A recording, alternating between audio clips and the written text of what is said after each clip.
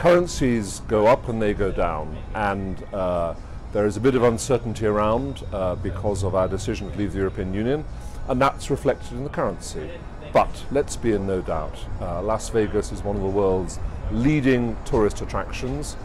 Hundreds of thousands of Brits come here every year. They will continue to come. Uh, you can be confident with everything Nevada and Las Vegas has to offer that people will still want to come here. British people voted in June to leave the European Union.